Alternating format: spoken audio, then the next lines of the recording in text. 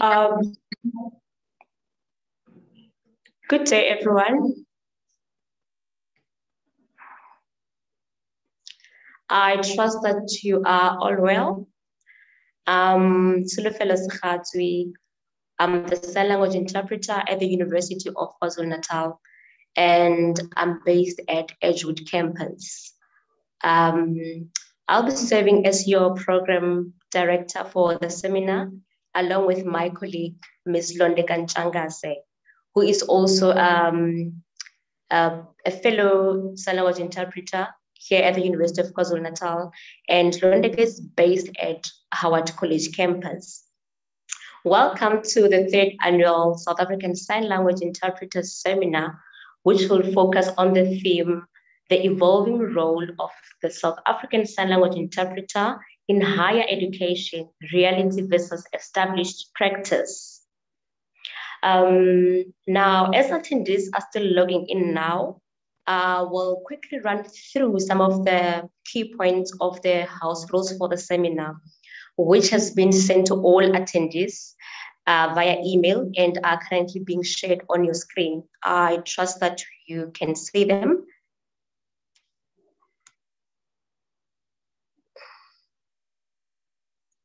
Um, please ensure that you are named appropriately upon joining this session to aid in smooth coordination of the event of this virtual platform for presenters and panelists. You have anything to add to the discussion or, or sign format, please indicate this by raising your hand. Wait to be prompted by the program director before unmuting your mic or turning your video on and making your contribution. Um, if you require SASL interpreter, please ensure that you're on a gallery view. SASL interpreting will be provided by two interpreters for the duration of the seminar. So you will need to pin their window. These are labeled SASL Interpreter 1 and SASL Interpreter 2. Uh, you will need to change the pinned window when a changeover occurs between these two interpreters. And again, if another SASL user is sharing, you will likewise need to change over and pin the individual window. Therefore, when you ask a question or maybe you add to the discussion, please uh, use the hand icon and wait a few minutes before you start signing so that other SASL users can switch your video. Um, if it happens that you require subtitling, please activate this machine-generated closed caption by clicking on the CC button for live transcription. Although not always 100% accurate, this will help you to follow what is being said. Um, we also have our technical team that will be available on the chat area to assist wherever possible. And also, you may contact, um, you may actually use um, WhatsApp to contact my colleague, Ms. Londi Wemdaba, on 073 850 9623. She will assist via mobile cell phone as well. Um, I believe that some people are still logging in. Maybe we can give them at least five minutes before we can start with uh, today's program.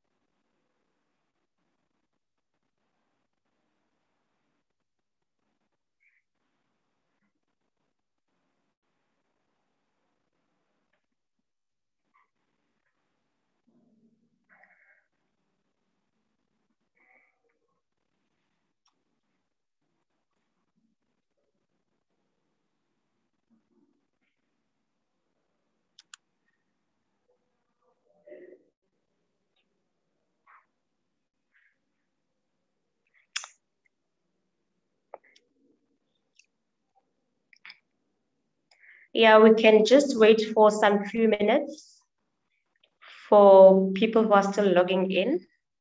So we'll start at, at 10 minutes past 12, then we'll start with our today's program.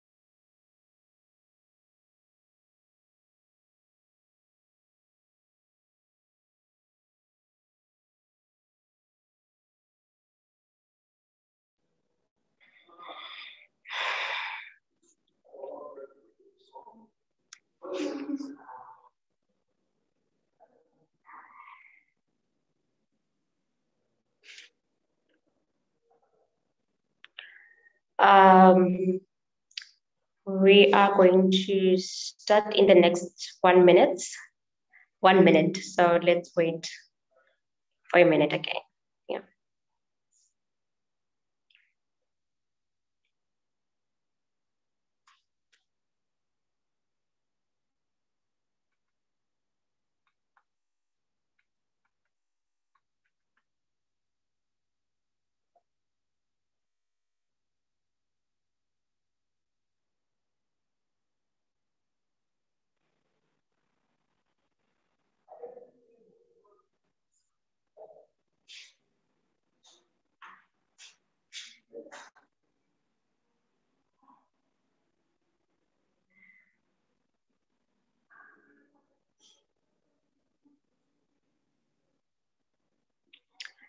I want to believe that everybody managed to log in.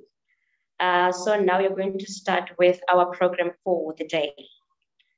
Up first, I would like to invite Professor Mazibuko to deliver the opening address on behalf of the University of KwaZulu-Natal.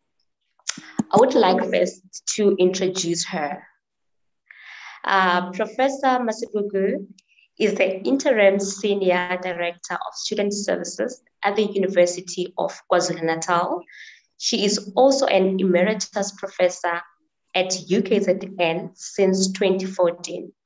She served as a professor and deputy vice chancellor at UKZN and as a vice chancellor at the University of Zululand. Prof. Mazibuko published extensively on social welfare social policy, women in leadership, and the major of the ex-University of Durban, Westville, and University of Natal. Welcome, Professor Mazibuko. Yeah. Thank you, our Program Director, Mr. Cholofelo Sehwazwi. Uh, good day, everyone. on behalf of the Vice Chancellor, our Vice Chancellor and Principal, Professor Nana Poku, and the University of KwaZulu-Natal, it gives me a great pleasure to welcome the panelists and participants in this seminar. It is a great honor and privilege to welcome everyone to this important webinar on the evolving role of SASLI in higher education, reality versus established practice. A very special welcome to all participants, and it is heartwarming to see a diverse uh, community of educators, practitioners, students, uh, specialists, linguists, interpreters, featuring so prominently on the panel discussions. A warm welcome to the multidisciplinary uh, and expert teams from the different parts of, this, of South Africa and the world, interpreters uh, from the Parliament of the Republic of South Africa, provincial legislators, tertiary education institutions of higher learning. I notice um, it, we have uh, guest participants from DUT, University of, of Free State, WITS, UKZN, and University of Cape Town. Uh, also, the basic education uh, sector, the TVET uh, sector, technical and vocational education and training, uh, disability support units, interpreting services, uh, facilitators of our panel discussions, postgraduate students, the UKZN organizing a committee, and all uh, formations supporting and advancing the cause of SASLI. Also, in our midst, maybe the staff from UKZN, students from UKZN, and distinguished guests are present. Our keynote speaker for this seminar, uh, Ms. Asanda Carter, is no stranger to the sector. A warm and special welcome to you, Madam. One is looking forward to your keynote address, which will assist all of us to understand the state of SASLI, the aspirations and needs of the deaf people in the schooling system, higher education, workplaces, and the communities generally. Your wise words, connectedness to the community of the deaf, and experience will set the tone for this important seminar. The theme and activities of the seminar gives one an impression of a community of practitioners, professionals, and activists who are not locked into deficit models, but are advancing an inclusive, safe, and transformative environment for and with the deaf learners and students.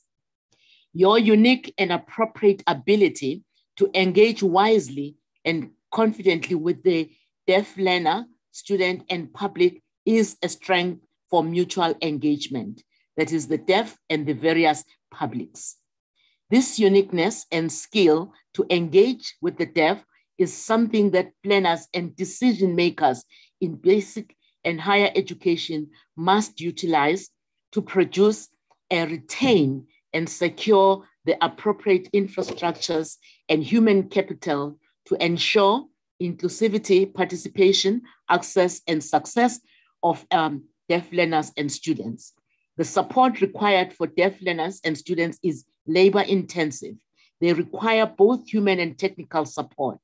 For now, skilled interpreters and the packages that they come with are a priority. Seminars of this nature generate important recommendations that inform basic and higher education of how to best invest in and support students, learners, and staff.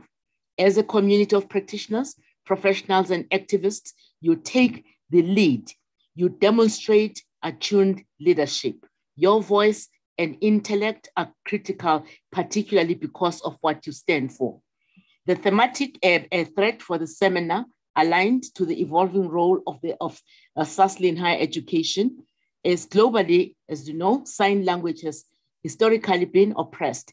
In the South African context, the sign language is regarded as a developing language and as a result, academic interpreting is a relatively novel field and the deaf community has had minimal exposure to concepts and nuances.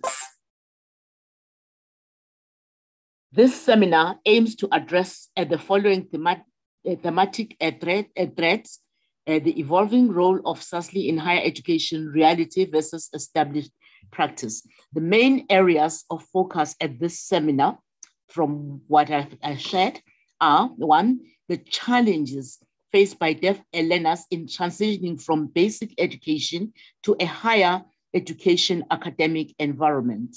Less than 3% of the deaf learners successfully meet the requirements to enter institutions of higher learning. Once placed in a significantly demanding higher education academic environment, they often face several challenges, notwithstanding access to interpreting services at a higher, at a higher level. A distinct lack of awareness with respect to the linguistic barriers faced by these students, by the academic community at large in this environment, and sometimes inconsistencies deliver or inconsistent delivery of uh, interpreting services leave deaf students significantly vulnerable. Note, they are not uh, foolish, they become significantly vulnerable. The seminar hopefully will highlight some of the challenges faced by the learners and students and explore strategies that would aid in achieving successful transition and integration into the mainstream higher education environment and in life generally. Secondly, the evolution of the interpreting profession in higher education. Contrary uh, to the established practice, sign language interpreting in post-secondary settings require a flexible approach due to the socio-linguistic and socio-cultural um, uh, factors that are within the discourse and or environment. The most silent issue affecting deaf students and interpreters include the underdevelopment, uh, underdeveloped academic sign language equivalent terminology, the minimal number of deaf students accessing higher education, the insufficient pool of interpreters, and the lack of interpreters uh, tra uh, trained uh, for this specialized uh, field. Here, then, I see your experience, uh, strong ethics, intellect playing a significant uh, role.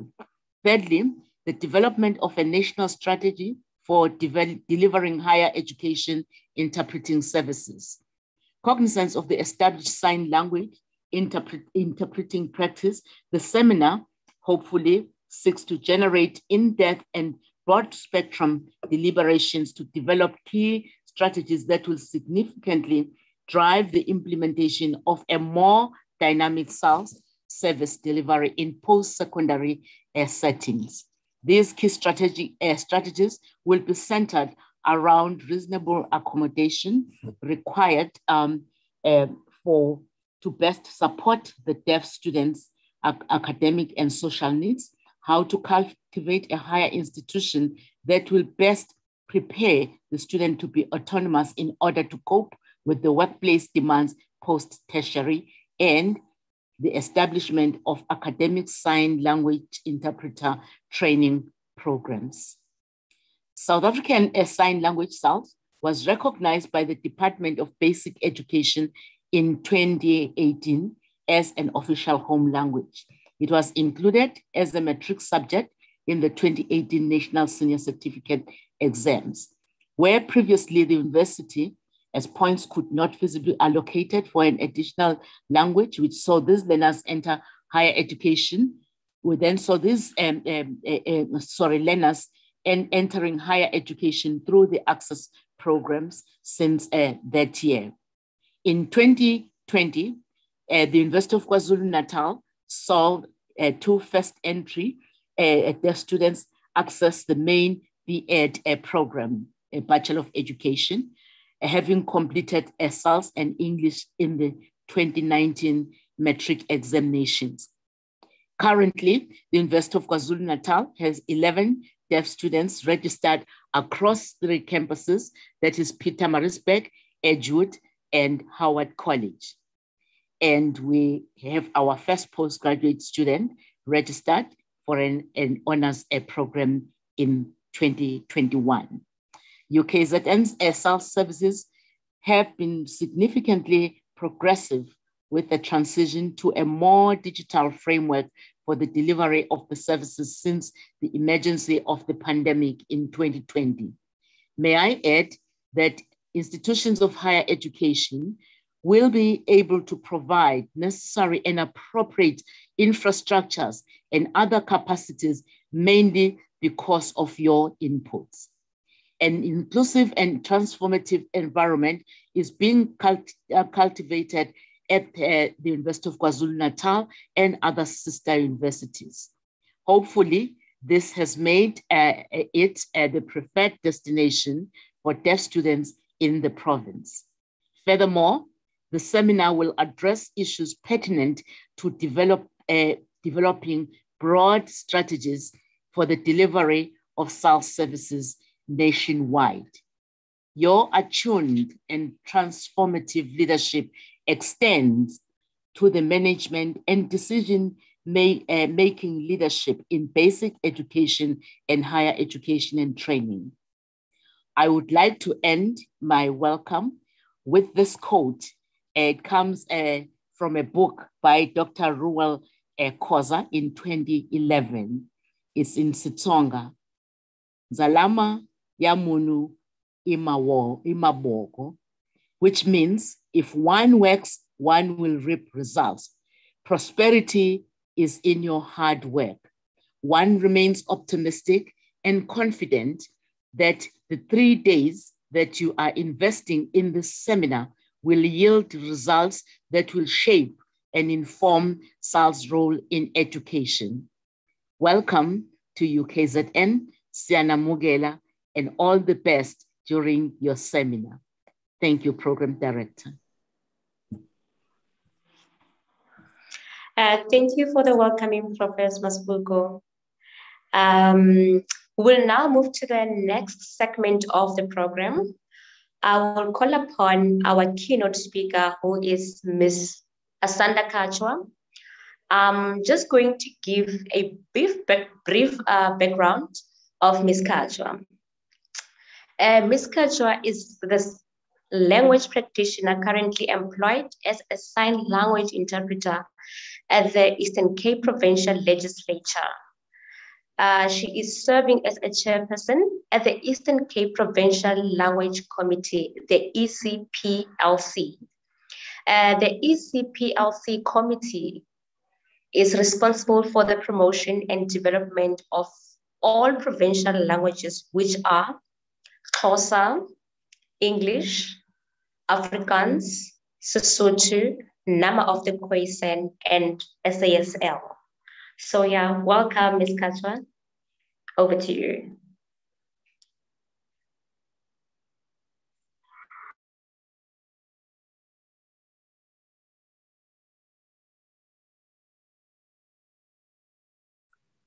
Uh, good morning, or good rather, good afternoon, everyone. I hope I am audible. The challenge with online presentations is you don't get um, quick and instant feedback. So it becomes a little bit challenging. Uh, it, it gives me great pleasure to be part of this year's uh, seminar termed the evolving role of South African Sign Language interpreters in higher education reality versus established practice. In particular, because the University of KwaZulu Natal is quite progressive as far as promoting, developing, and use of indigenous languages, in particular isiZulu. And what they have done in ensuring that isiZulu has developed, I hope other institutions of higher learning uh, will, will take a note of that. I haven't started my presentation. I'm just giving a preamble before my talk. Uh, Prof. Mazibuko and esteemed guests, please forgive me if I seem to be a little bit all over the place in my presentation perhaps at times I will sound like a, a broken record. Because we know that our institutions of higher learning overall in South Africa are not doing enough as far as the development of South African Sign Language as a language and South African Sign Language interpreting as a profession.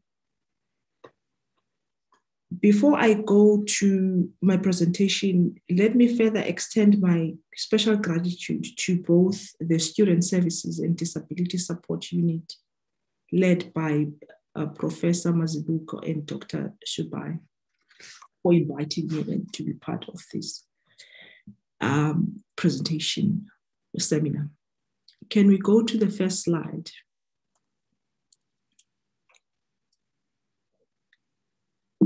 Okay, oh, I can control it. Now, the theme of today or of these three days is quite simple.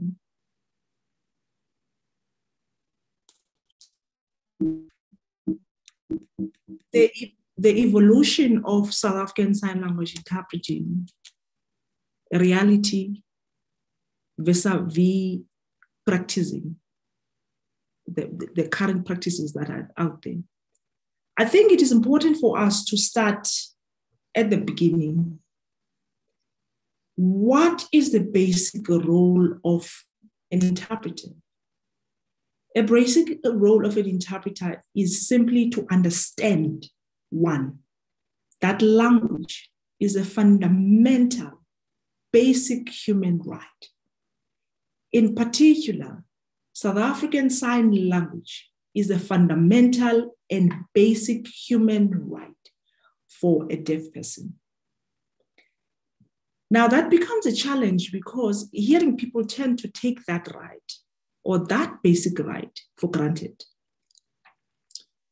Now, the basic role of a, South African Sign Language interpreter is not to merely take from one language to the other or transfer from one spoken language into SASL or from one spoken to uh, one spoken language to another spoken language. It is more than that. It is also to bridge the gap caused by language variants or differences in languages, and importantly, to bridge the different cultures because we cannot we can never divorce language and culture each language, be it isiZulu, isiXhosa, isiSotho, Afrikaans, English, and South African Sign Language, each language is paired with culture. Therefore, you can never be a good or successful and a proud interpreter, South African Sign Language interpreter, if you don't know the two cultures that you are working in yes, I, I do, I, I am aware that um, in, in South Africa, we work as South African Sign Language interpreters with basic three languages. In my case, it could be isiXhosa, South African Sign Language, and English. With that said, you still need to fully understand the languages, these three languages, with the paired cultures. Now that assists in your in your work, in your daily work and interpreting as you are in the field. Now, understanding those uh, cultures, there is a deeper understanding that you need to, to, to have further. We have subcultures. We have to have an understanding of the workplace culture, that becomes my role as an interpreter to constantly bridge the gap. Because remember, we're working with deaf people or the deaf community or deaf community members and hearing members. So we will have to constantly um, manipulate, so to speak, or manage the culture, the workplace culture You have to have an understanding of the street culture. You have to have um, an understanding now what COVID has brought uh, to us online culture. You have to have a, a, better understanding of online culture. I see on the uh, notes, on the chat box, that uh, some deaf members are unable to see the sign language interpreter. Uh, I can see the interpreter from where I am, but I'm reading from the charts that some deaf people are unable to see the interpreter.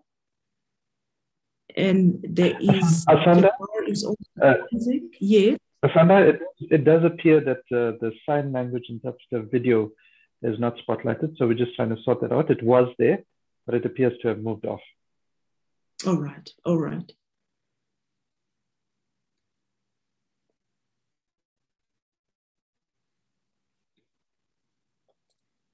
Uh, should I, should we wait? Uh, I suppose we must wait.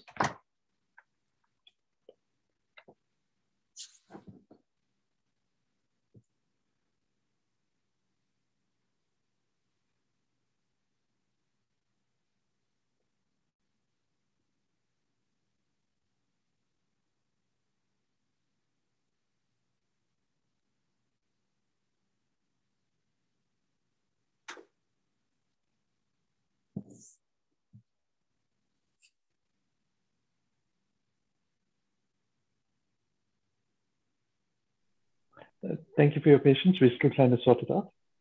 Okay.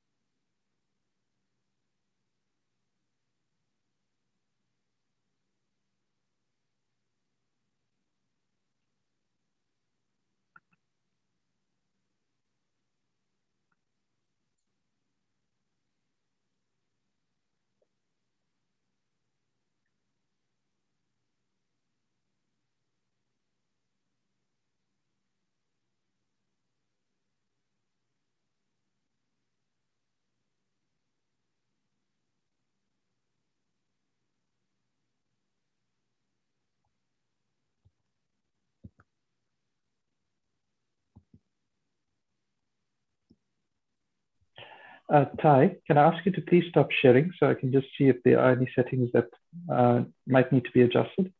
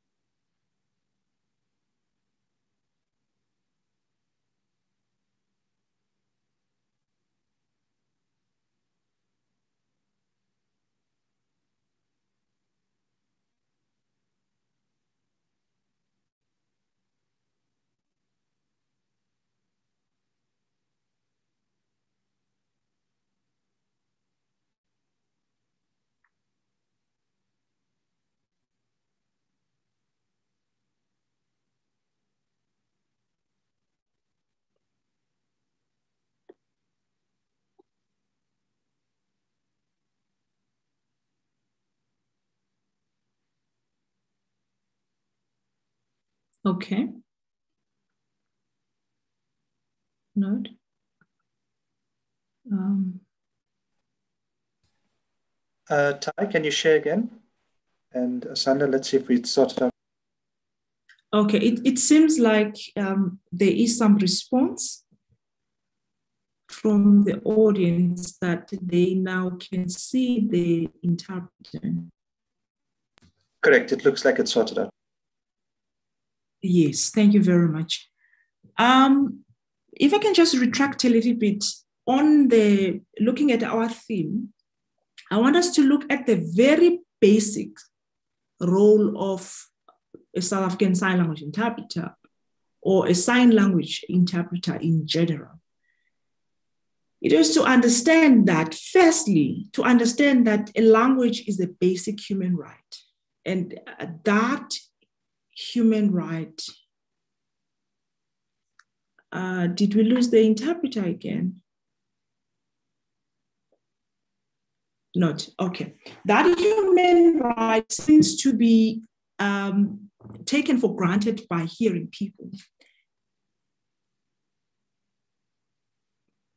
The role of a South African Sign Language interpreter goes beyond just to relay from one language to another. An interpreter has to understand, fully understand the cultures of the languages or the communities that they are working with. Um, okay. Okay, I'm asked to pause because they cannot see the interpreter anymore.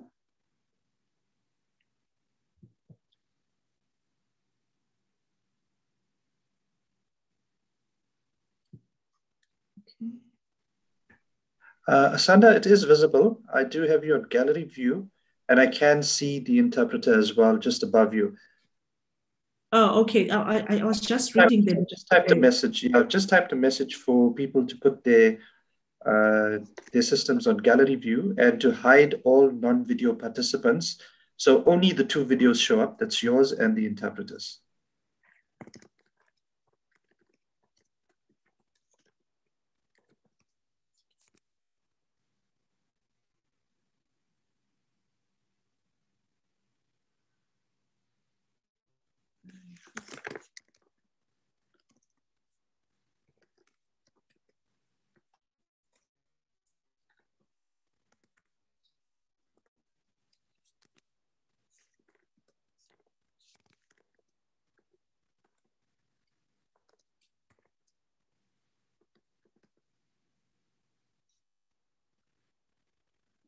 Okay, I'm reading that in a webinar setting, gallery view is disabled for participants, thus no option to switch views.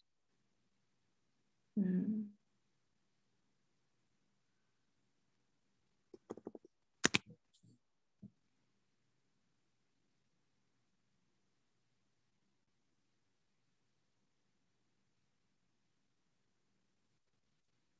Okay, it seems like some people don't have the option to go to gallery.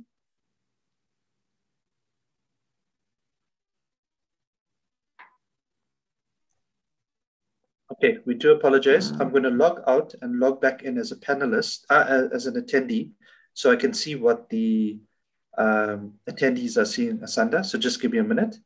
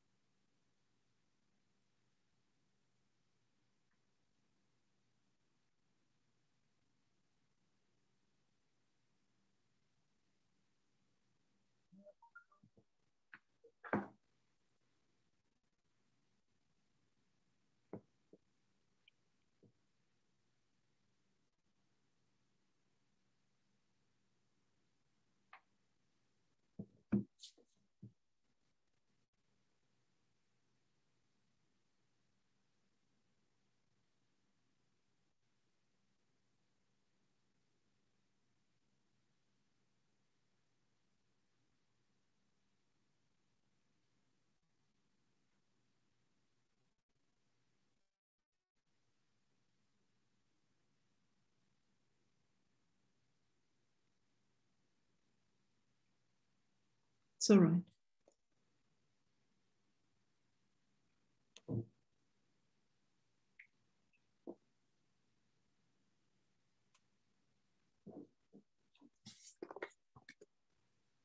Okay, cool. All right. Seems like everyone can now see the interpreter uh, nicely. Thank you. Now, once again, I was briefly going through the basic role of the sign language interpreter, that uh, language is a fun fundamental basic human right. A fundamental basic human right, not just for South African Sign Language, Sign, language is a fundamental basic human right for any language. But in particular, for South African Sign Language or any languages or, or sign languages, hearing people or anyone who can hear, take that right, take that basic right for granted. Now, going back to the role, the basic role of the South African Sign Language interpreter, it is more than just passing one language to another. It is also to bridge the, the communication and language gap and the language, the culture that is paired with that language. And it goes a little bit beyond than the language, the working languages and the working cultures. An interpreter has to have a, a, a basic understanding of the work culture have to have a basic understanding of different subcultures in the environment that they're operating in. We have seen and we know that every time there's a misunderstanding, a miscommunication, and it, as far as culture is concerned, there is bound to be a clash. It might, it, sometimes it presents itself as a clash of personalities, because in my culture, we do things this way. And that becomes the, the role of the interpreter to ensure that there's a, a, they neutralize the environment in an interpreting uh, uh, situation. Uh, second last, on basic role of the interpreter is to ensure that they provide quality interpreting. I'm not going to go into detail about what is quality or, or not. Uh, I'll touch a little bit later on. And they abide by the ethics. By the actors. Can we go to the next slide?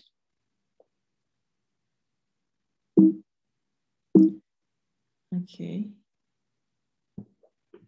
Now, what I've done when I was given the theme for this seminar, I broke down the theme into two sub themes the evolving role of the South African Sign Language interpreter in higher education.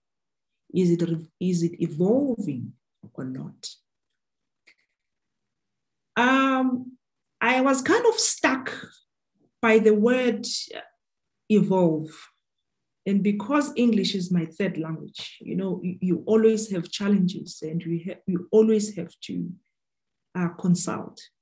I consulted um, a number of dictionaries to give me a, a, proper explanation on what evolve means. And what I've found, I've quoted two dictionaries from Cambridge Dictionary was to develop gradually.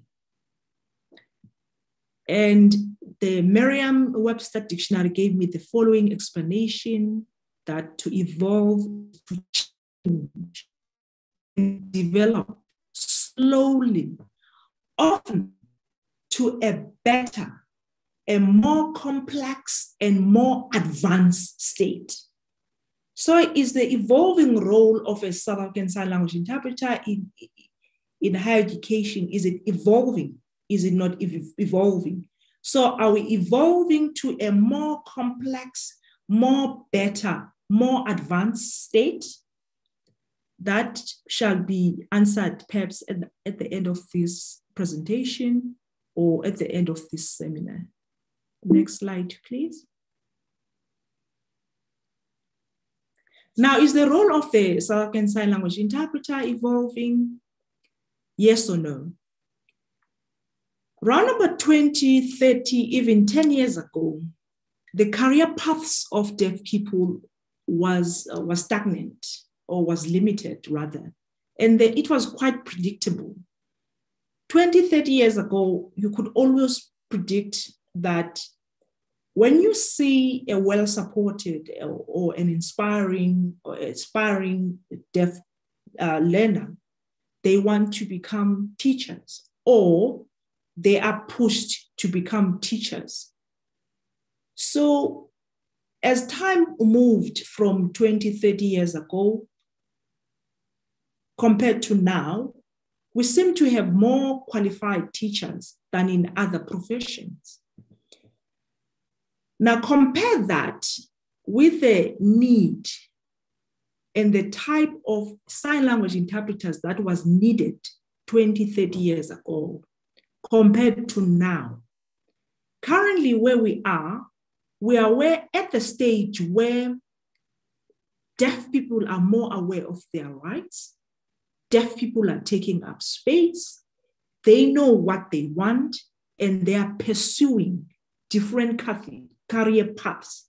So the, the opportunities now are opening up a little bit more. Now, the question is that requires that the institutions of higher learning to meet that demand. That becomes the second question. Are our institutions of higher learning meeting the evolving um, the, the evolving career path of deaf people? Are our institutions of higher learning equipping our South African Sign Language interpreters correctly to match the demand?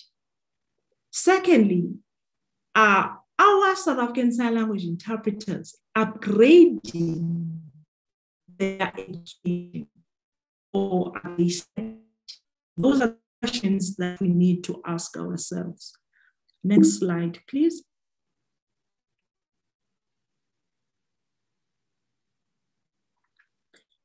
Now, as I mentioned two slides ago, that I kind of break my presentation towards two, uh, two themes. The first theme was around whether South African Sign Language interpreting is it evolving or not. Now, the second uh, sub theme is the reality of the South, Af- South African Sign Language interpreter and the established practices. practices. Now, the reality, to answer that question, the reality now is we have a lot of sign language interpreters that are uneducated. Within the, the institutions of higher learning, you will have undergraduates, learners, deaf learners from various schools, and you will have an interpreter that has a standard eight at most will have matric to interpret for that.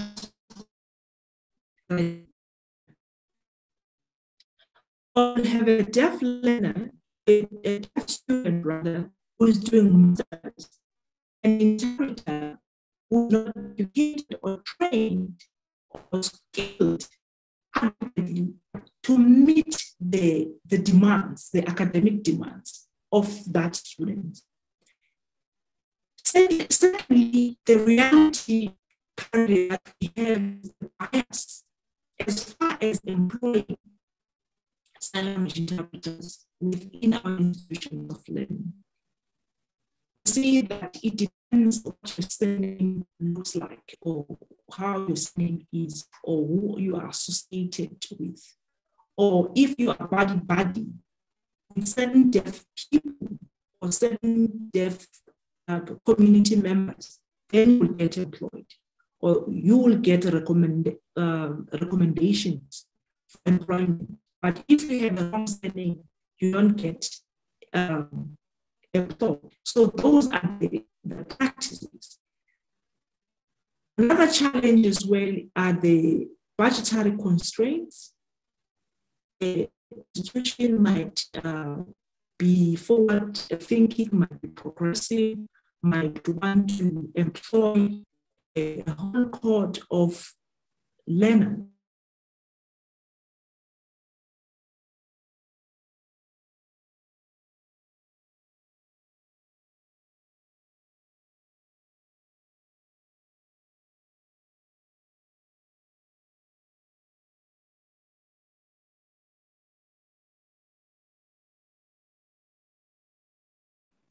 Uh, I'm sorry, Asanda. I think you muted yourself. We can't hear you. Yeah. No, I actually didn't touch anything. okay, on budgetary constraints, and then you will see at times that institutions of higher learning will say, yeah, we'll, you are, we are interested in employing interpreters, um, but we don't have money.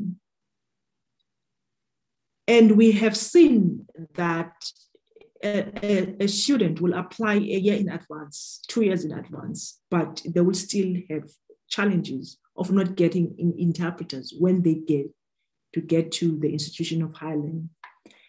Another reality of South African Sign Language interpreters that are in the institutions of higher learning are there's an expectation for them to multitask they're expected to interpret, they're expected to, to ensure that there's a higher um, uh, enrollment of deaf learners. They're expected to, to ensure that these learners or these students pass. That unfair multitasking that the institution is expecting from the, this interpreter, and it almost becomes a norm.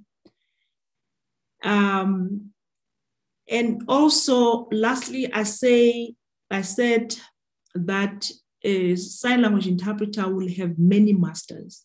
If I am employed by a, the University of UKZN, I, do I become loyal to my employer? Do I become loyal to the deaf person I'm interpreting for? Or do I become loyal to the deaf leaders outside the institution, many masters, and that also create confusion within the interpreting space for a sign language interpreter within institutions of higher learning. Next slide, please. Now,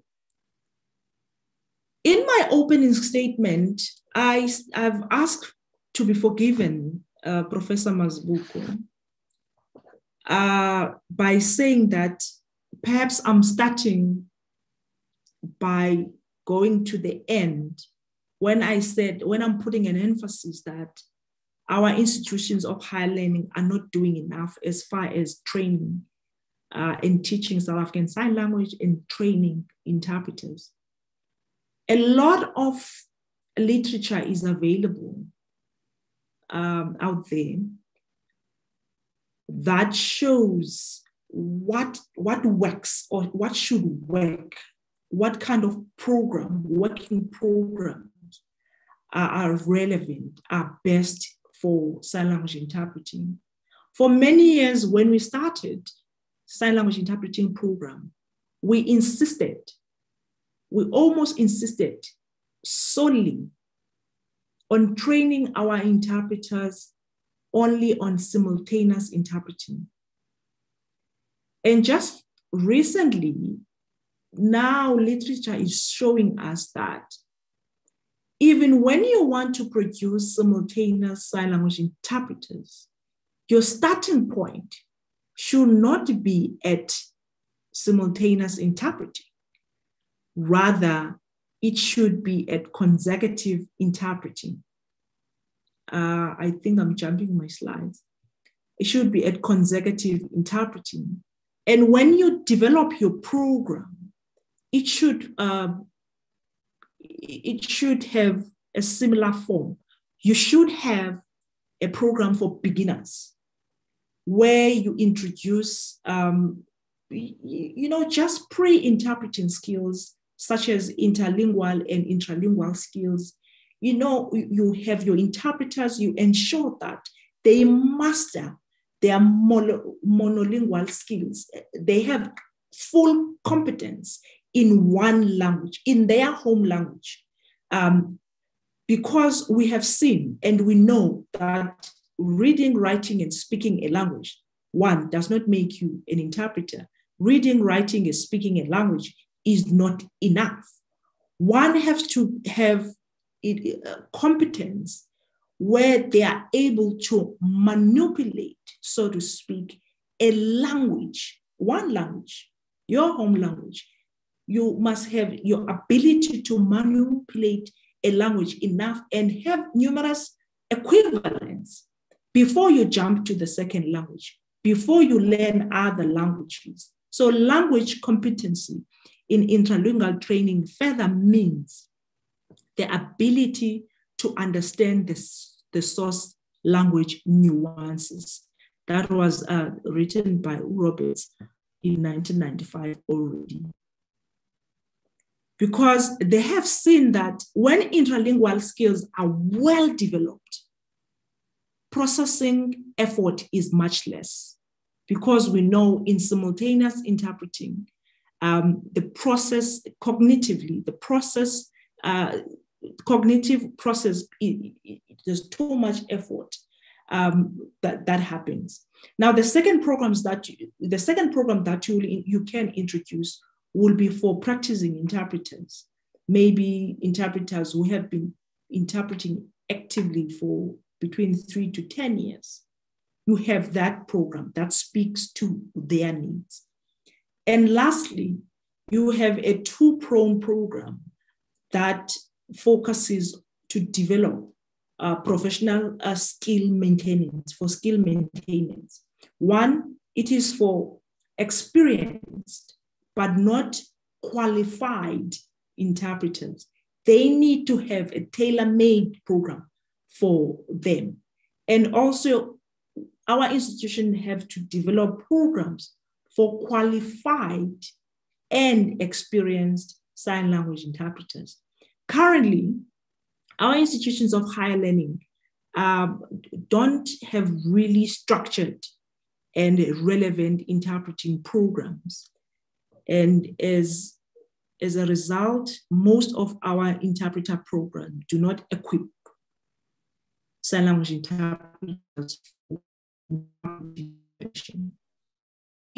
Can go to the next slide.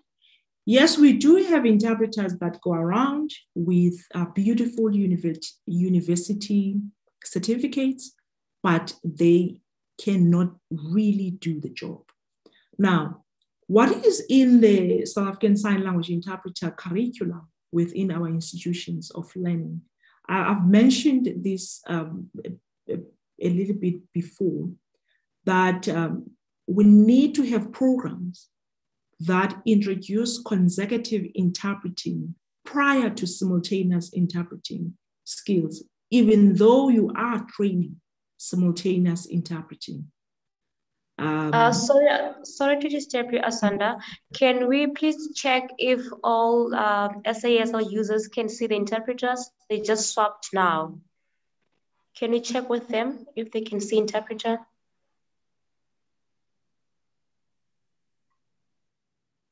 Yes. They seem to be fine. Okay, thank you.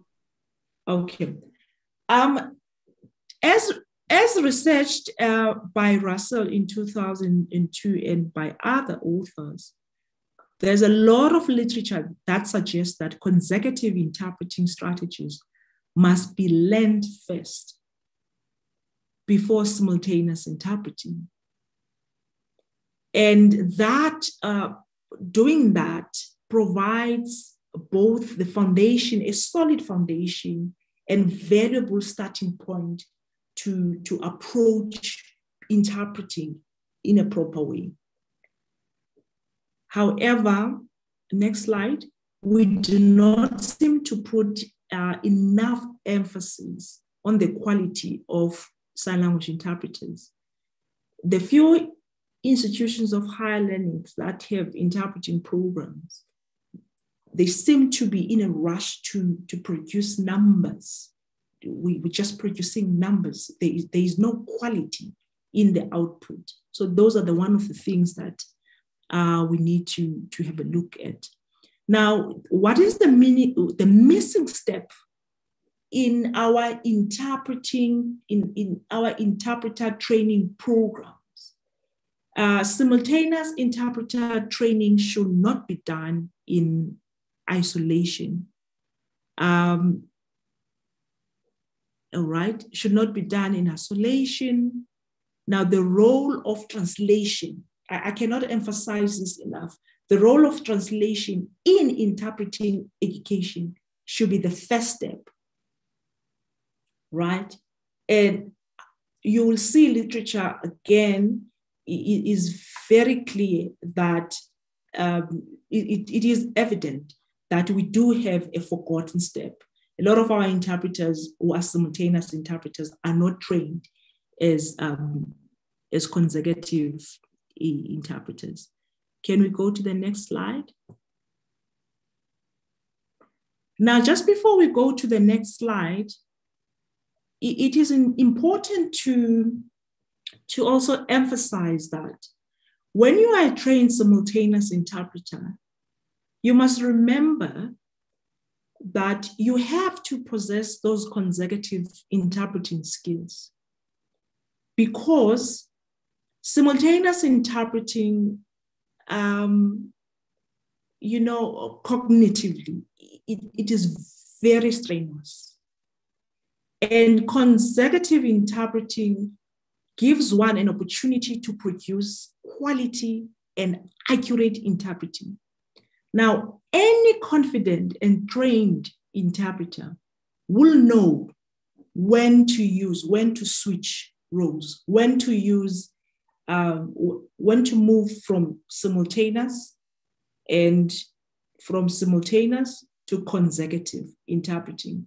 But we seem to have a fear of saying, I'm a sign language interpreter.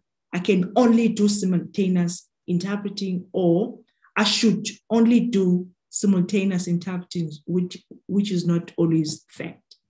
So when we only focus on simultaneous interpreting, these are the different errors that we have witnessed.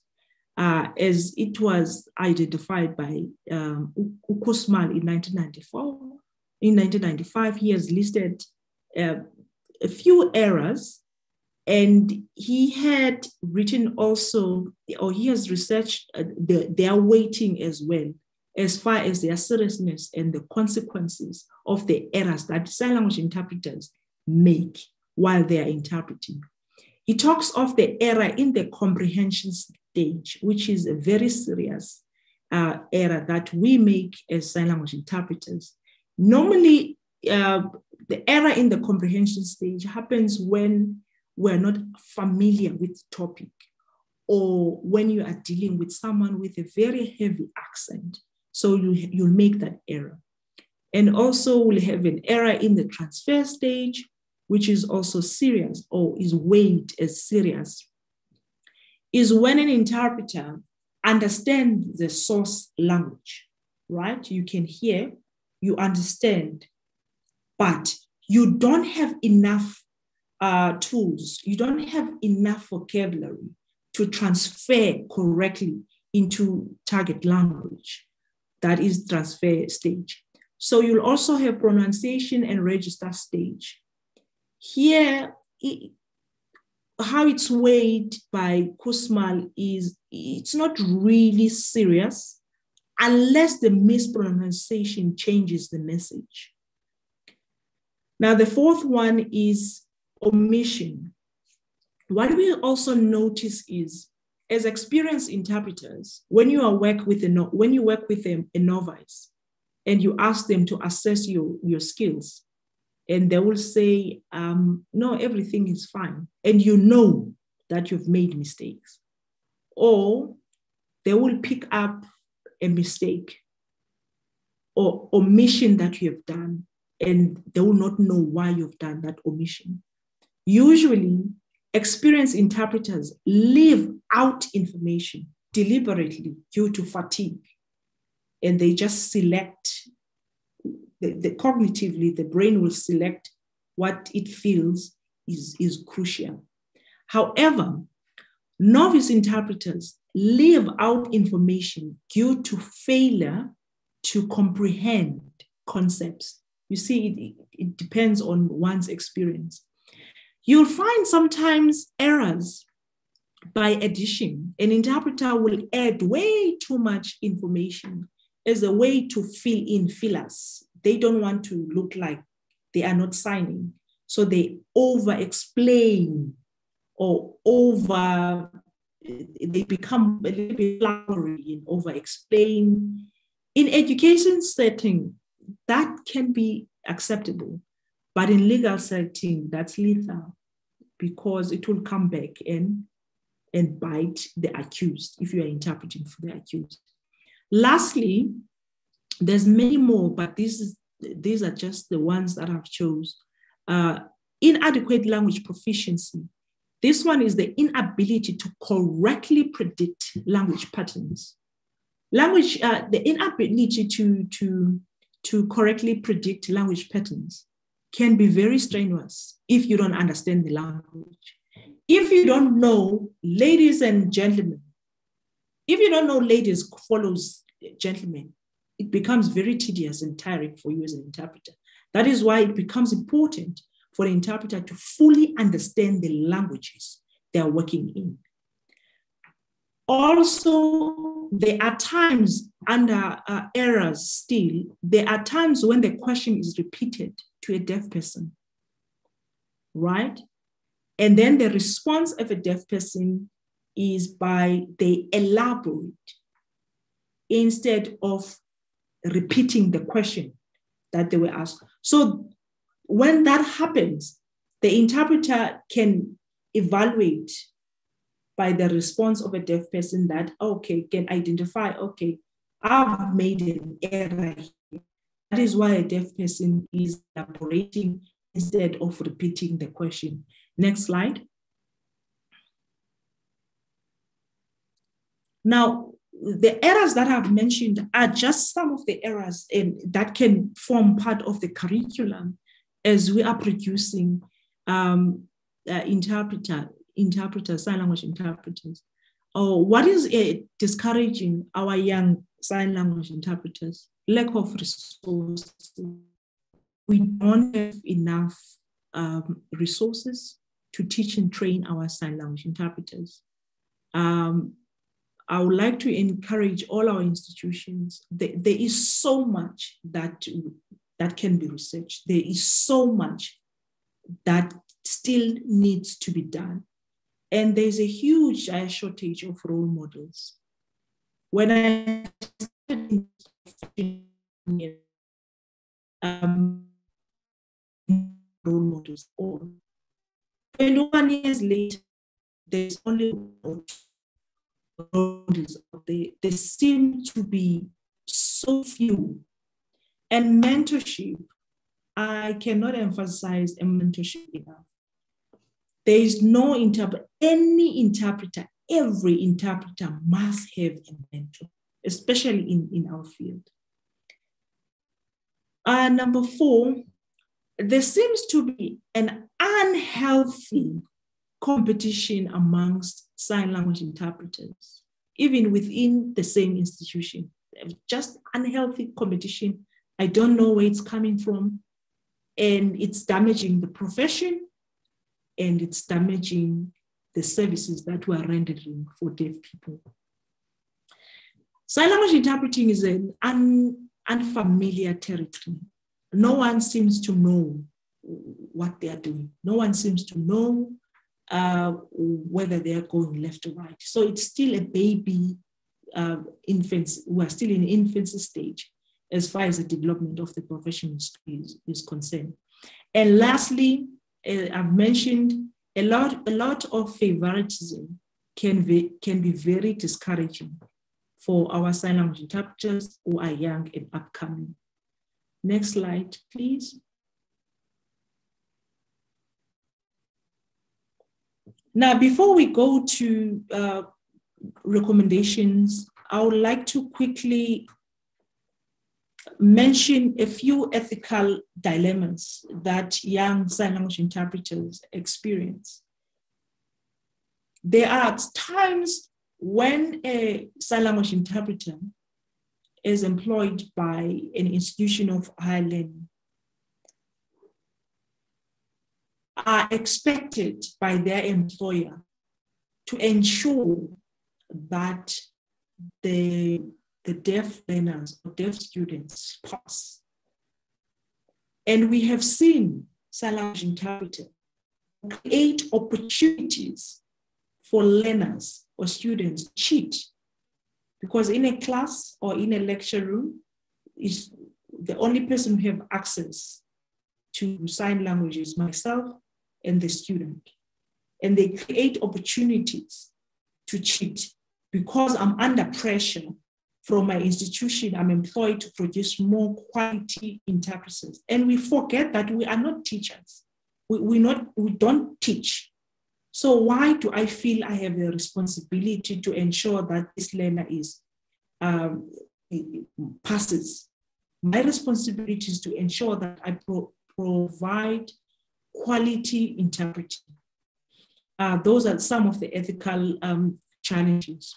And my recommendations will be all of our institutions to, to ensure that South African Sign Language, sign, sign language interpreters are qualified and skilled. To employ qualified and skilled interpreters. And that institutions of higher learning to ensure these interpreters get support in a form of a mentor and our institutions of higher learning must know and understand the role and responsibilities of an interpreter and be sensitive to the ethical duty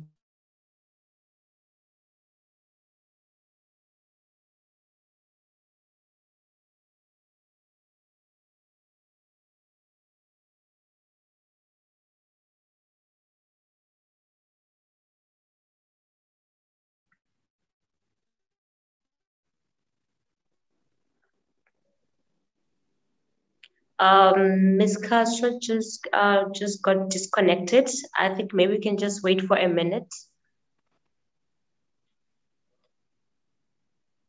Yeah, I am here. Uh, I'm not sure if I am audible.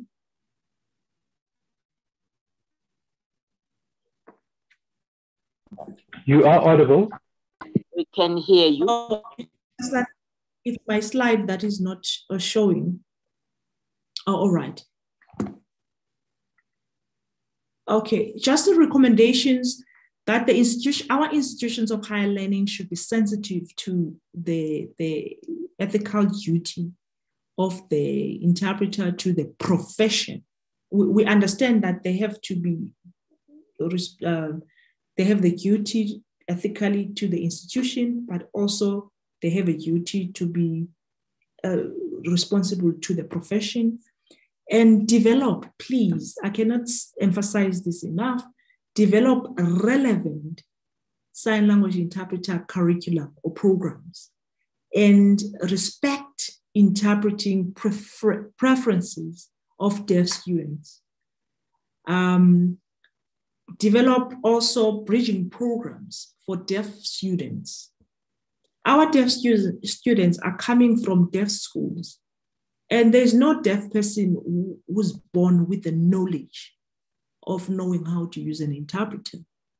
More than 95, 95% of the, the students that come into your institutions don't know how to use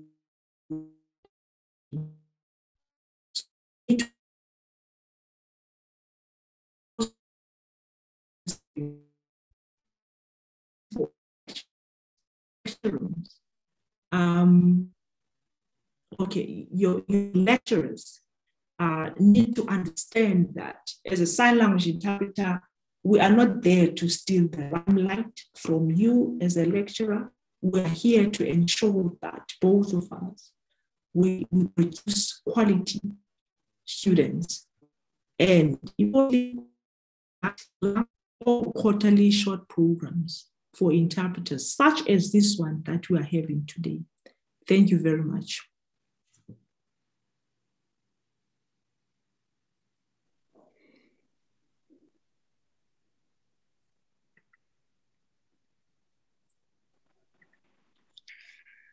Uh, thank you, Ms. Kasha, for your beautiful presentation.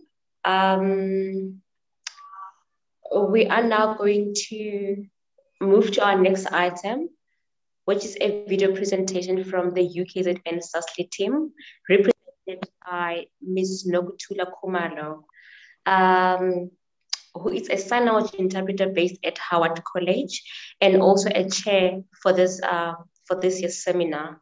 So yeah, welcome, Nokuthula.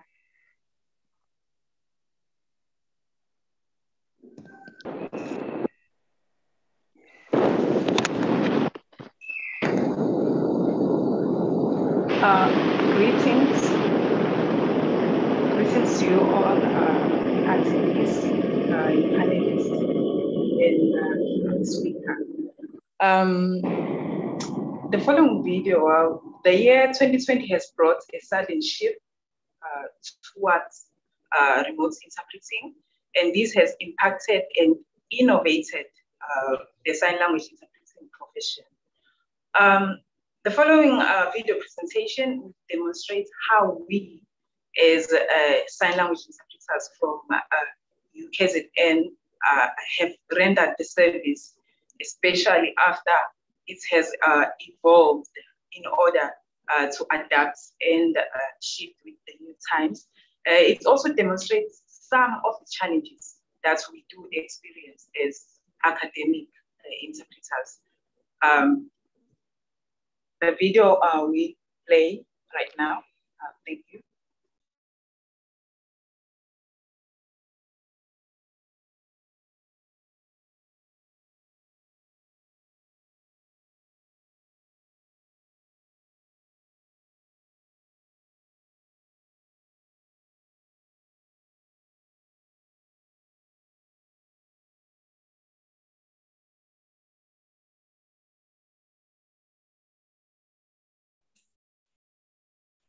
Please share your computer sound.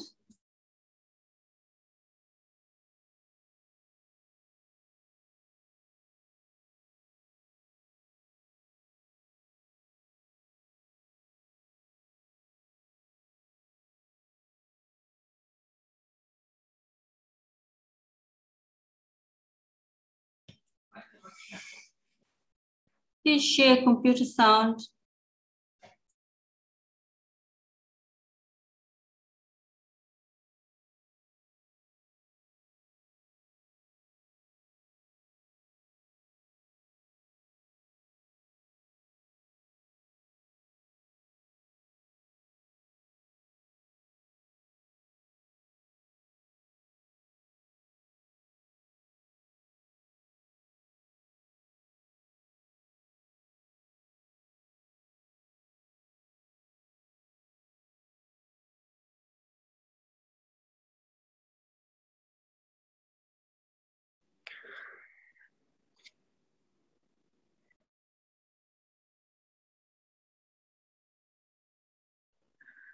Hi, I'm sorry. Can you please pause the video, Nokuthula? There's no sound.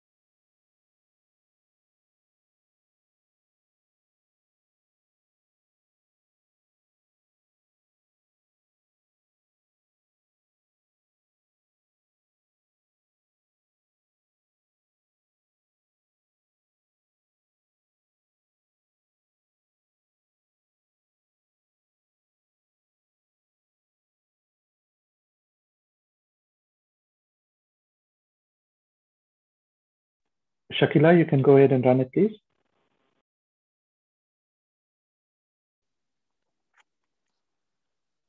Uh, apologies, uh, it seems there was no sound on the video.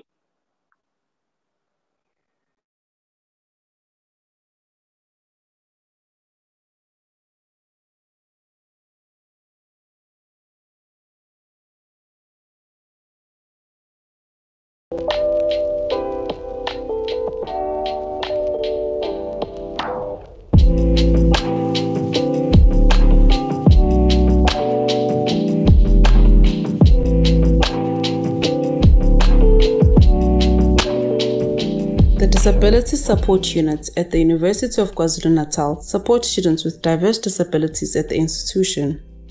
These students benefit from specialized services that are aimed at equalizing access to higher education. Deaf students who use South African Sign Language, SASL, to communicate also form part of the cohort of students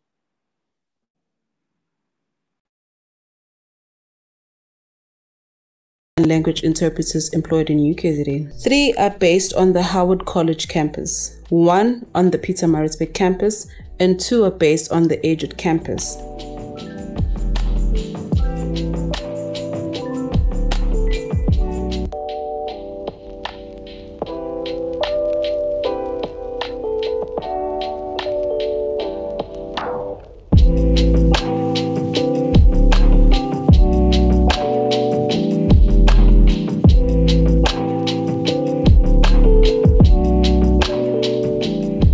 Disability Support Units at the University of KwaZulu-Natal support students with diverse disabilities at the institution. These students benefit from specialized services that are aimed at equalizing access to higher education. Deaf students who use South African Sign Language, SASL, to communicate also form part of the cohort of students who benefit from these specialized services. Currently, there are six South African Sign Language interpreters employed in UKZN. Three are based on the Howard College campus, one on the Pietermaritzburg campus, and two are based on the Edgewood campus.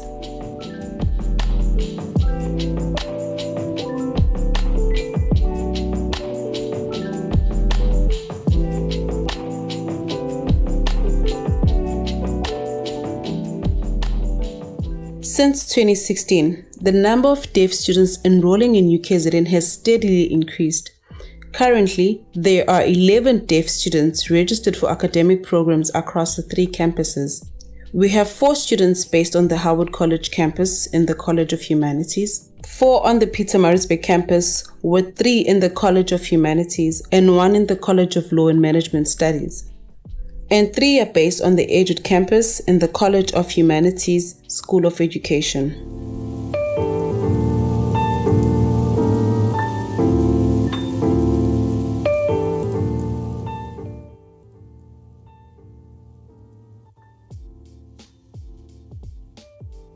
Hello, my name is Pili Leshezi and this is my sign name. I'm a second year B.Ed student at the University of KwaZulu-Natal at Edgewood campus located in Pinetown.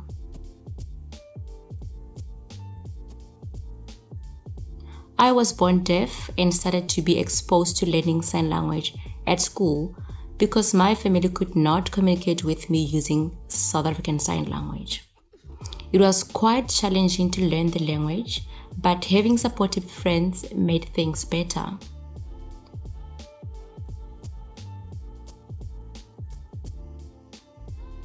I started at a mainstream school, but it was quite challenging because I could not liberate.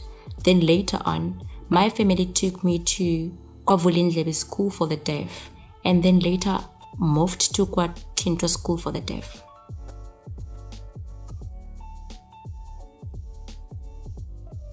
Oh, my sister assisted me with applying at the University of KwaZulu-Natal through the CAO.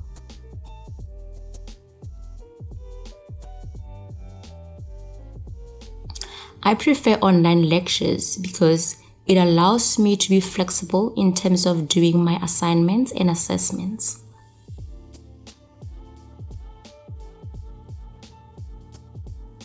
It also grants me the liberty to study in the comfort of my own space while keeping safe from the pandemic.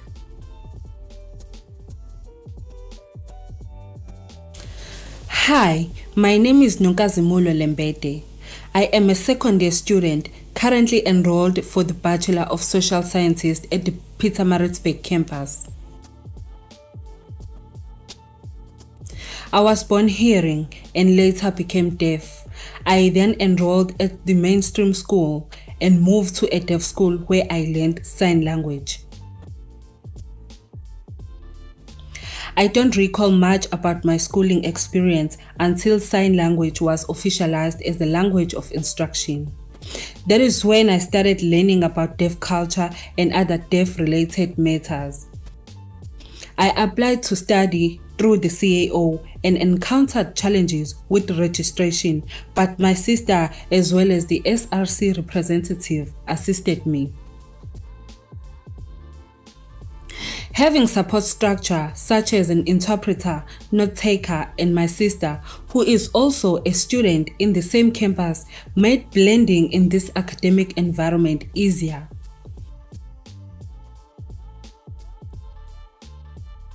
I prefer online lectures because I am a shy person and I don't like overcrowded spaces. During on site lectures, the students and the interpreter usually sit at the front row, with the student facing the lecturer, the interpreter, and the screen projector. Academic interpreting involves an extensive number of subjects, fields, languages, and dynamics. Interpreters are faced with immense challenges when taking technical or academic language and conveying it into a language that has never been developed or standardized in this particular field. Some of these challenges include words that are technical, idiomatic, or unique to a particular field. The terminology that has been spelled out in SASL because there are no equivalent signs, and the use of different words that share similar sign in the same sentence Prior to the virtual instruction, interpreters had minimal access to teaching and learning materials. But with the transition to online learning, it has been a blessing in disguise in terms of ensuring access. Currently, South African Sign Language interpreters are added as teachers on the Learning Management System, commonly referred to as the UKZN Moodle or Learn 2021, to access all the learning materials prior and post scheduled lectures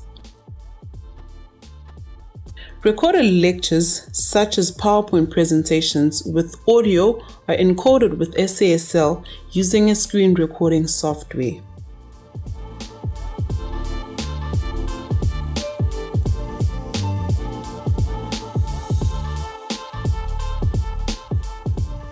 For live lectures, students access the content through Zoom by using the side-by-side -side view feature, which displays a split screen of shared content and the interpreter.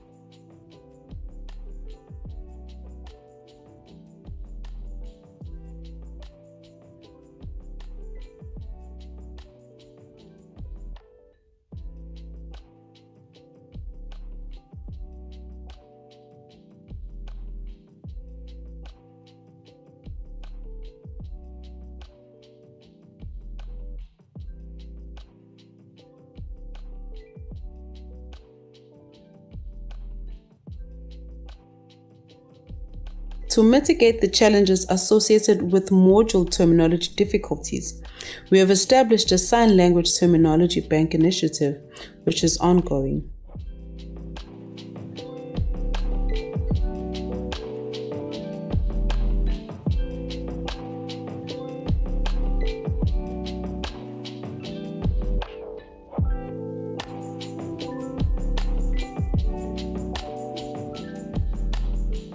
All SASL encoded content is made available in the Kaltura interface, which can be accessed through the university's learning management system. A special thanks to the UTAL team for collaborating with us to ensure a smooth transition to the new mode of teaching and learning.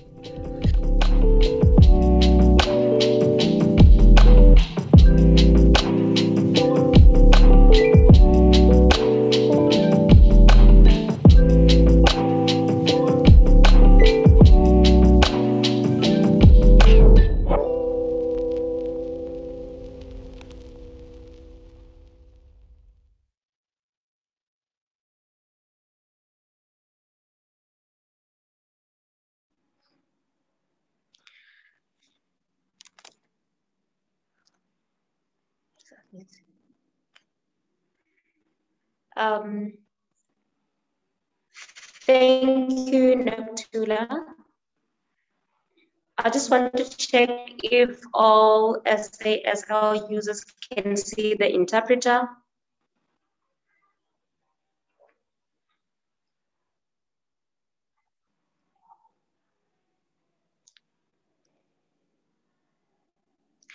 Okay, let's proceed. Uh, our next presentation will be by Ms. Sandile Mugati, but let me first introduce her before she presents. Ms. Sandile Mugati is the principal sign language interpreter at the Durban University of Technology Deaf Center. Um, welcome, Ms. Mugati. Over to you now.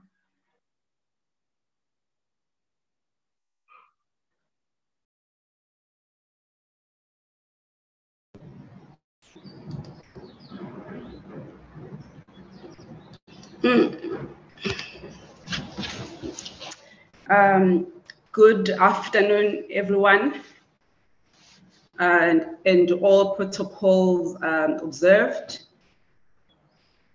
I'm not sure if the interpreter is able to hear me.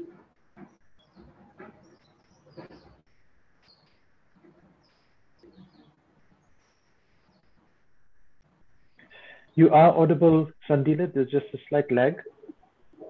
Oh, okay. My network is a bit unstable. Can I request to switch off my video and um, use the audio um, instead? And I'll, I'll, I'll ask um, Nobutula to beam my presentation on her side.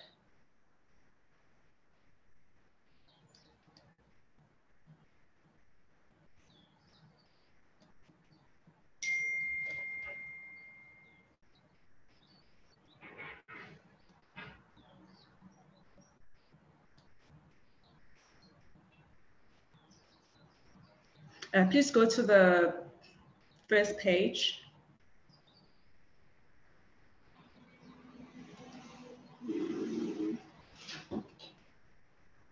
Um, okay, um, good afternoon again to everyone, colleagues, SASLIs, um, deaf students, and um, the deaf community at large, and the University of KwaZulu-Natal. Thank you very much for inviting me to today's um, seminar.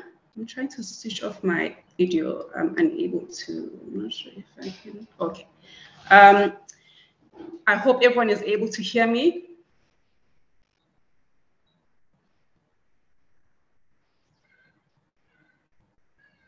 Okay, okay, okay, we can hear you. Jabbar. We can hear you. I will, yes, I, I can't seem to see the, the SASLI. Uh, I'm not sure if Spumene is uh, ready.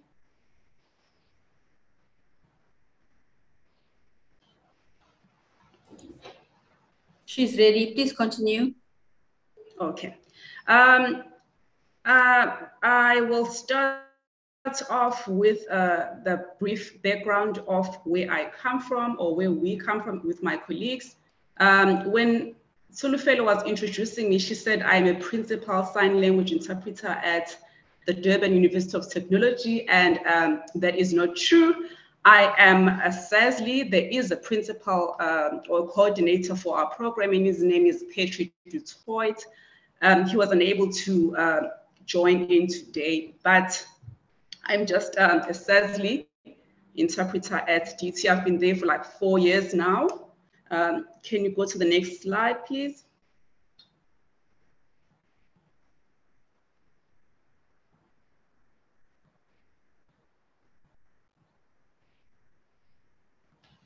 Okay. Um, um, at the Durban University of Technology, at the Deaf Center, we are housed under the Faculty of Accounting and, Informatics.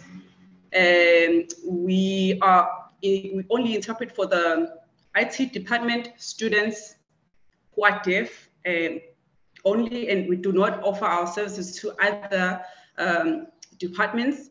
Um, another thing that I would like to mention is we do work in collaboration with the disability desk um, at the DUT um, uh, recent camp, um, Steve Biko campus. And what they normally do is they um, offer support to deaf students, especially with the issues of residence and um, uh, uh, funding and things like that. And um, we, at our offices, we, we have a, there's a laboratory that we have for deaf students and we Sorry, Sandile. are, Uh, Sandile, can you please just hold on for a second? We just need to try and get the interpreter back on. yeah, I can't seem to see what is happening. Okay, I'm sorry. Let me just, Uh, just one minute. Uh, apologies for that. okay. No, it's okay, it's okay.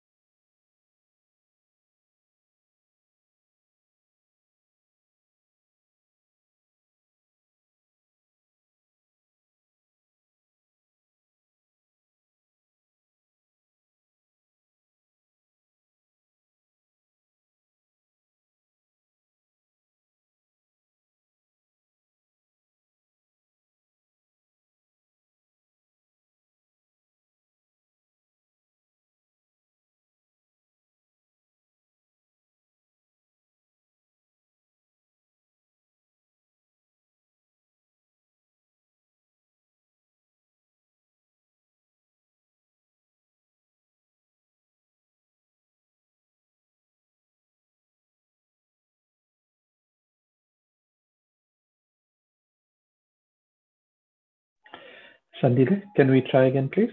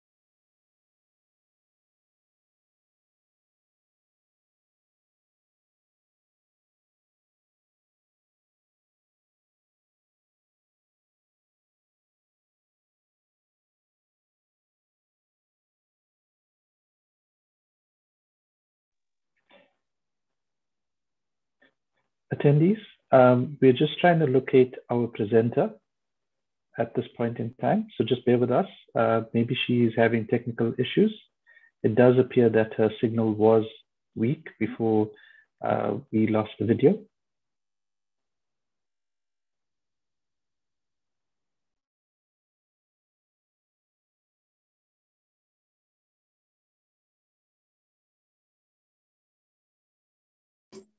She doesn't have any audio.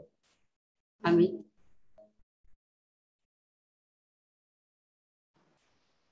My apologies, colleagues. I was kicked out. I got kicked out by Zoom. Um, I'm back now. Okay, can I start from the beginning for uh, deaf, uh, for the deaf committee especially because I felt like they lost me when I was starting. Uh, please go to the, the next slide.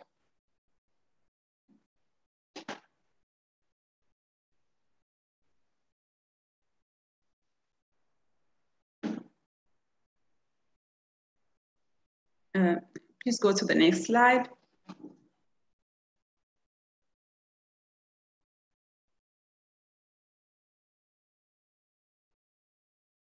Okay, um, I'll just uh, proceed. Um, with the brief background of who we are, we are SASLIs who are based um, at the Durban University of Technology, which is called the DUT.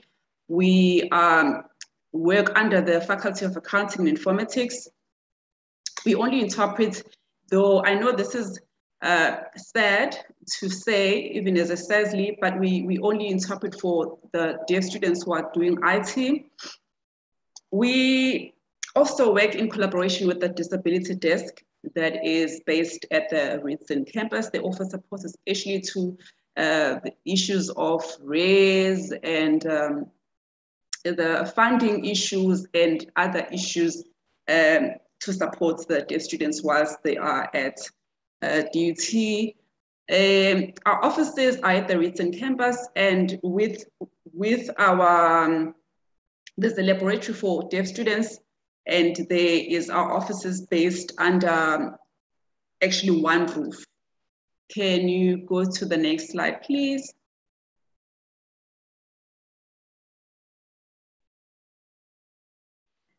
Um, um, as we might, some of us are aware of the issues that are faced by deaf students, especially when they move from basic education to higher education, there is um, an issue with um, uh, English language. And I feel like if you're a SASLI, it's, it's, a, it's better for you to understand the issues that are faced by deaf learners um, in deaf throughout their deaf education for you to be able to um, properly um, interpret uh, uh, and also to, do your job um, the best way that you can. And uh, there's, there's issues with um, tests and assignments, especially because uh, in the academic setting, lecturers expect deaf students and hearing to write their assignments in proper academic English and there are issues with that uh, at the moment. Um, oh, someone is saying they can't see SASLI on screen. Delene, Delene Willemse.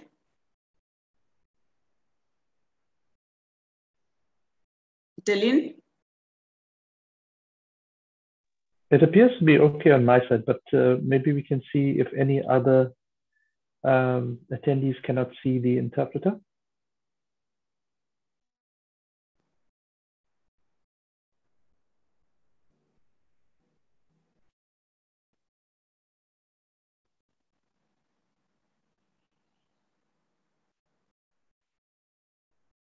Oh,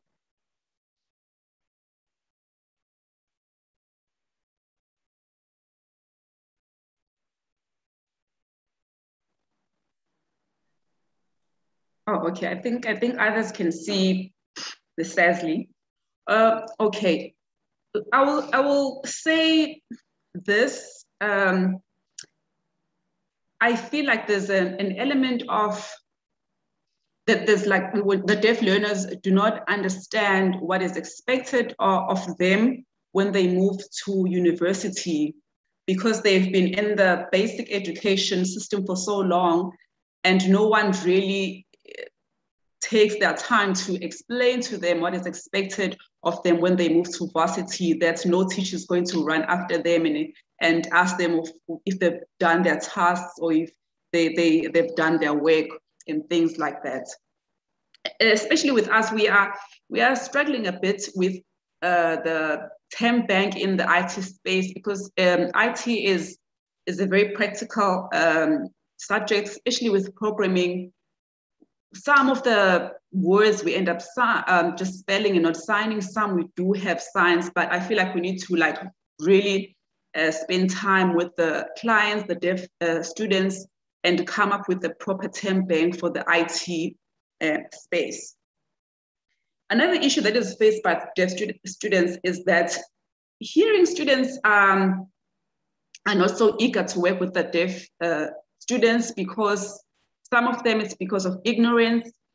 Some they just do not want to.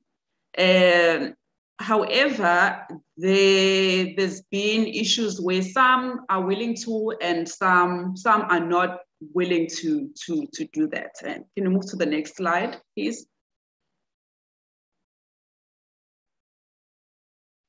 Um, these are some of the solutions that we've come up as, as a team that we feel uh, do work for us and our clients in the process. We, we sometimes when you go through uh, your preparation before lectures, you find that um, there is you need to come up with a sign. So you meet with the uh, students, you discuss the signs, you come up with a sign, if if you can um, be in agreement uh, when it comes to like who use a specific sign, then if the the, the clients prefer you to spell the, the word, you you you do um, as they say.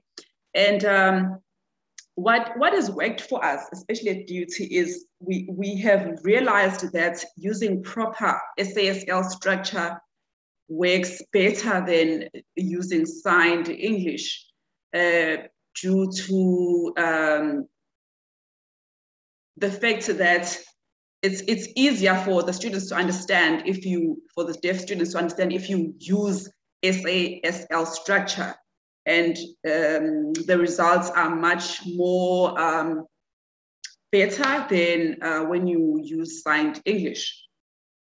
Um, some of the things that have worked for us is like that most of the academics at DUT do understand that deaf students require extra time when uh, during class or when there's um, tests and um, quizzes, especially online quizzes, they do add extra time, especially now uh, that there's COVID, they, they are willing to, to add extra time for deaf learners, for deaf students, I mean.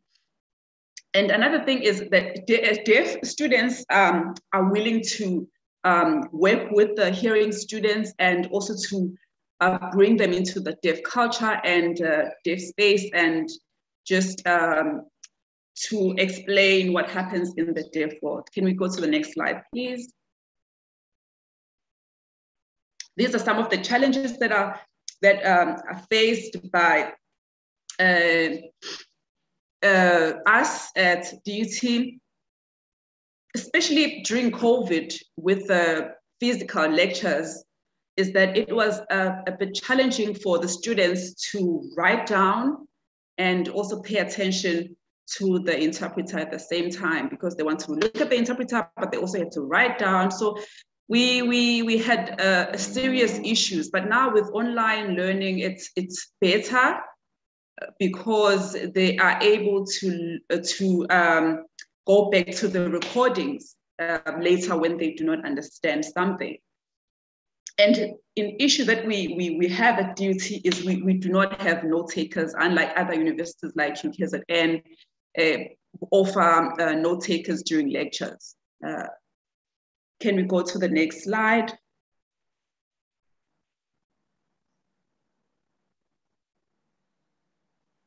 Uh, okay. Um, one of the things that has worked for us uh, at DUT is when we are interpreting in uh, during lectures for because we know that uh, deaf students, um, some of the deaf students uh, vocabulary of the English language or maybe the, the IT vocabulary is limited. We normally sign the, the, the word first, then we'll spell the word. My apologies. We spell the word first, then we sign it to um, boost their vocabulary of the, um, the English language because also it's their right to know what this sign means when you write it down as a word. And um, uh, one of the things that I've seen, I think UCT did this, where during um, uh, exams, they would have a scribe for a deaf student. Uh, unlike the, the other universities where the deaf student writes down and lecturers would be like, oh, I don't understand what is being said here. I don't understand this English and what is this? So um, I feel like this is one of the solutions that could work for us. And another thing is that uh, during COVID, especially now that there's recorded lectures on your Moodle and your um, uh, learning management system, there's, there's lectures, so students can go back to those lectures and watch what was being said when they are preparing for their exams, their quizzes, and their tests, or if they just missed anything during lectures. Um, okay, can we go to the next slide, please? Um, this is some of the success stories uh, that have happened at DUT. Um, one of the past students is now working at the Westville Correctional Services. She's a manager at the IT department there. Uh, one student got employed recently. Um, he is working in a private sector. Uh, I will not mention the names of the companies for, for the other students. And we've had like three students who have who are doing some two have done their advanced diploma. Advanced diploma is like your BTech. So they've done their advanced diploma, they've passed this, they have graduated, but one is still uh, doing his advanced diploma. And one of, of our former students is working as a software developer in Umhlanga area. Uh, um, Okay, um, three minutes left. Oh, thank you, Tsulu. Um, one, one former student is working as a software developer in the Musgrave area. Um, can we go to the next slide, please? I think I'm done now. Oh, thank you very much, Siabo Maria Lebuka Enkos. I'm so sorry. I feel like I was just rushing through this and the sign language interpreter was just struggling a bit. My apologies. I know it's not fair. Thank you very much for the opportunity.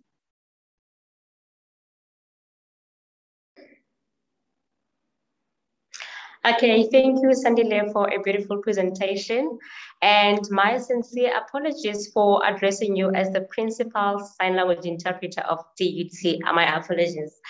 And I would also like to thank you for being patient despite technical issues that we have experienced today. Uh, now, I would like to hand over to my colleague, Ms. Londeka Njangase, to facilitate the Q&A session to close out the day's program. Over to you, Londeka.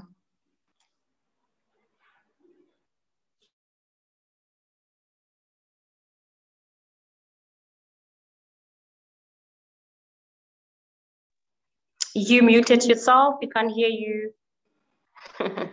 oh, sorry about that. I'm so sorry. Um, thank you so much, Tulufelo. We will now take questions from the floor. Uh, please indicate um, if you would like to address a question by raising your hand. Uh, wait to be prompted before unmuting your mic or turning your video on and making your contributions. Um, it seems like on our question in A, we have uh, something. Oh, yes, uh, we have a question from Jabbar. Um, uh, I will read the question. Um, thanks, Asanda, for your presentation. Uh, question, have you considered about um, deaf interpreter? Because deaf interpreter is also a good tool for university level would you considering in your next presentation about a deaf interpreter? Thank you. Uh, I'm not too sure if Ms. Uh, Sandakajo would like to um, answer that question.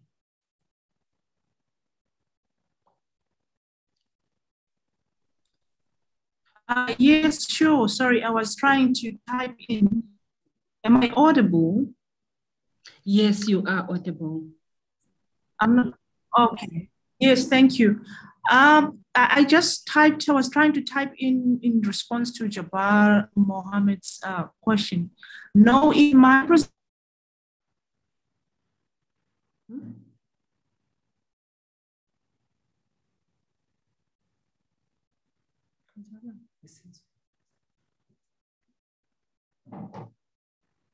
We can't hear you, Asanda. That is available. It, it seems like we have lost uh, Ms. Uh, Sandra. Um, any support that is available to ensure that deaf learners uh, suc uh, succeed. I'm, I'm, sure any university will appreciate, even if it means it's it, it deaf interpreters, whether deaf or hearing. I, I don't think that is the that should be the question. Whatever support that is available, uh, whatever uh, program that is there to ensure that our deaf learners uh, become a success, I'm sure will be welcome. Thank you.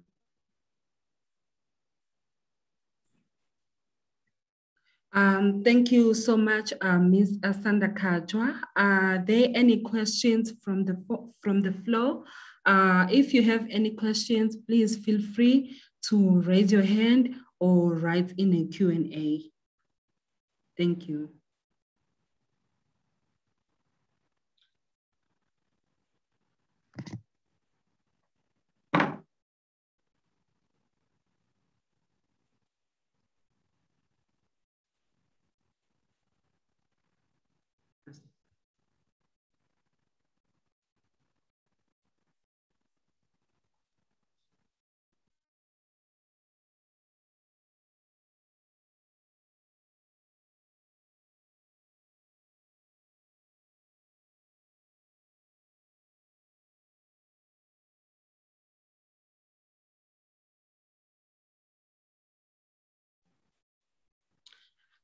Um, it seems like we don't have um, any questions from the attendees. Uh, if there are no questions, then um, that brings us to the end of today. Uh, please join us tomorrow at 12. Um, have a lovely afternoon. Uh, thank you so much. Thank you. Thank you.